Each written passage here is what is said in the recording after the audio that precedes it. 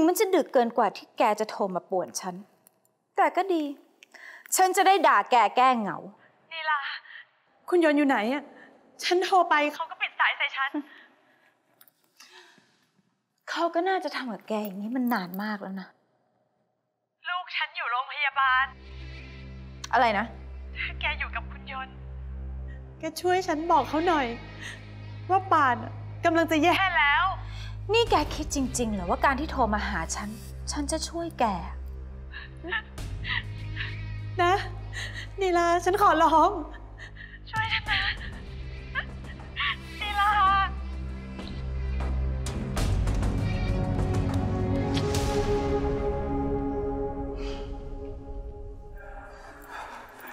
คุณป่าเป็นไงบ้าง แกอยู่ข้างในค่ะ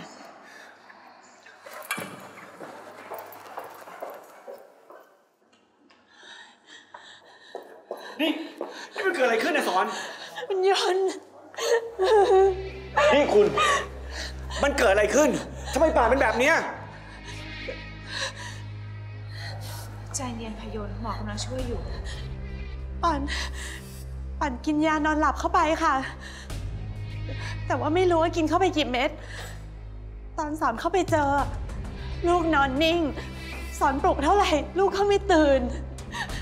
อนพยายามโทรหาคุณก็ปิดเครื่อง สอนก็เลยเรียกรถพยาบาลมาที่นี่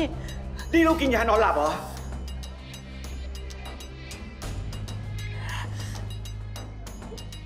ลูกนอนไม่หลับอะค่ะ ก็เลยชอบแอบเอายานอนหลับของสอนไปกิน แต่คราวเนี้ยน่าจะกินเยอะเกินไปอะลูกก็เลยน็อก แล้วนี่คุณเป็นแม่ภาษาอะไรเนี่ยปล่อยให้ลูกกินยานอนหลับได้อะสอนก็เคยห้ามเขาแล้วนะคะ แต่เขาไม่ฟังนี่โถ่ยใจเย็นนี่ ถ้าลูกผมเป็นอะไรขึ้นมานะผมไม่เอาคุณไว้แน่ ผมมีลูกชายคนเดียว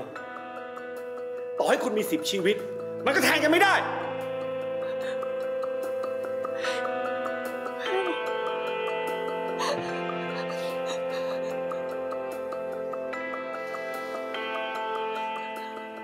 ยาบาลนะคะพอใช้เสียงค่ะ